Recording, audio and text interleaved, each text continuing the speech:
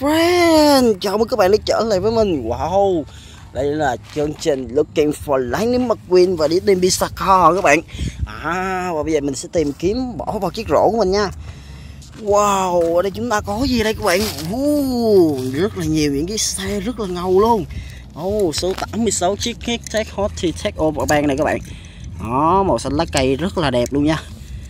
Đấy, đặt vào. Wow, và đây là Fabulous Hudson hơn này số 51 các bạn. Đó, như các bạn đã thấy nó có cái lằn ngọn sắt ở dưới này các bạn. Quá ngầu luôn nha. Đấy, đã chưa?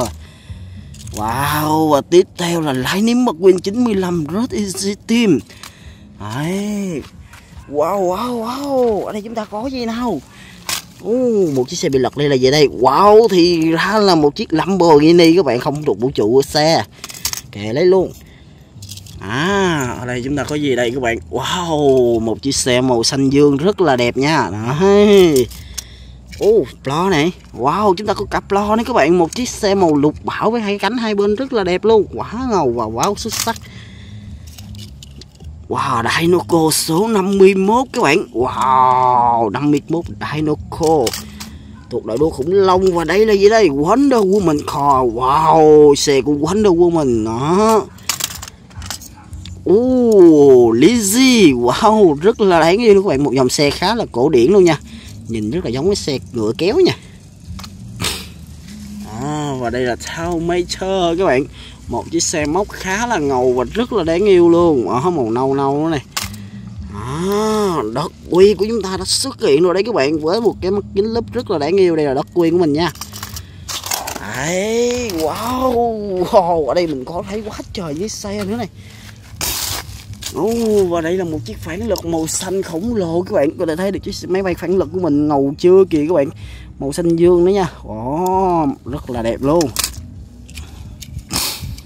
Và đây là siêu xe của Spider-Man người nhận siêu đẳng các bạn. Đi Amazing Spider-Man car các bạn. Quá ngầu luôn này à ở đây chúng ta tiếp tục với gì đây. À, thì ra là một chiếc xe Doc Hudson Hornet số 51 là màu xanh lắc cây à, ở đây chúng ta có cả Tao thơ. Wow rất là đáng yêu số 95 Tao thơ các bạn ngồi chiếc xe cẩu rất là ngầu luôn. Oh wow ở đây mình có một chiếc xe có cái mũ nồi khá là đẹp với cái râu xung quanh này các bạn ngầu chưa? À đây là Dinoco số 51 nha. Wow. Uh, wow. Frank Wow Ice Creamer, các bạn bán kẻ bán kem mặt chú hề. Wow. ở đây là gì đây? Wow, ở đây là Dinoco số 51 rất là to lớn luôn các bạn. Quá ngầu luôn này. Đó, mình đã thu thập được một cái gỗ khổng lồ với những dạng những xe các bạn.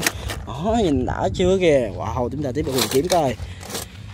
Uhm, wow, có vẻ mình đã tìm kiếm hết xung quanh ở đây rồi các bạn ha, không thấy được một chiếc xe nữa. Cảm ơn các bạn đã cùng đồng hành với mình nha. Wow, xin chào và hẹn gặp lại các bạn sau.